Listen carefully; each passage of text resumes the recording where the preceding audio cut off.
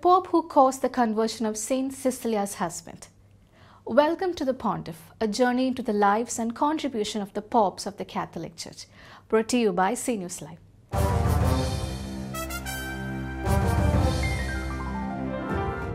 Saint Urban I, elected as the 17th Pope of the Catholic Church in AD 222, shepherded the Church during the reign of the Roman Emperor Alexander Severus. The reign of Pope Urban I was filled with peace. Historical records attest that he was born in Rome in AD 175 and his father's name was Pontianus. The church expanded in Rome and in the other regions of the Roman Empire owing to the period of freedom and peace enjoyed by the church during the papacy of Saint Urban I. It was Saint Urban I who caused the conversion of the husband of Saint Cecilia and her brother. This conversion paved the way for many others into the Catholic Church. Pope Urban I papacy was not rid of challenges.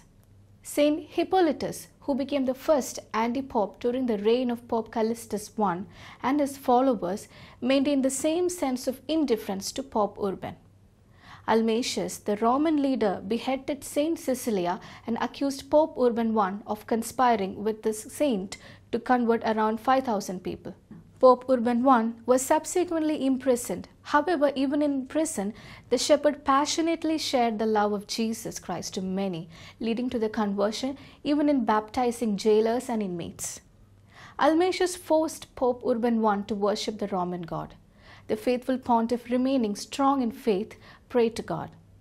As a result, the statue of the Roman god fell and 22 pagan priests were crushed under it.